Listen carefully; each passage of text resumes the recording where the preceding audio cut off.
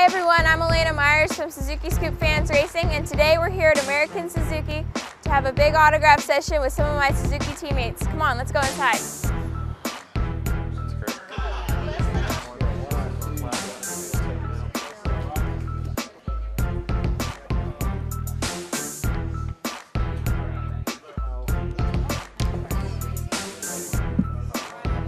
Corey, congratulations on your win at Miller Motorsports. You absolutely blew away everyone at that race. Tell us about that weekend.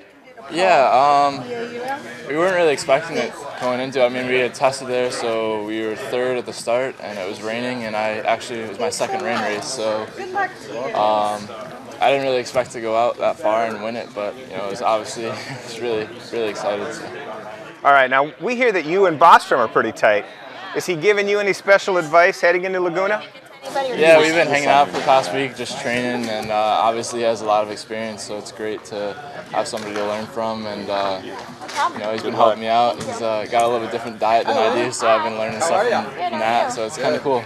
And you're sitting in a solid third place overall in the AMA Pro Supersport West class. Quite a jump up from last year. What's been the big difference? Um, it's seat time. You know, I've only gotten to ride so much, so uh, every time I get on the bike, I learn something new, whether it be a motocross bike or road race bike in general. So, you know, every race I go to, I learn more and I get faster. So it's just, just all about that.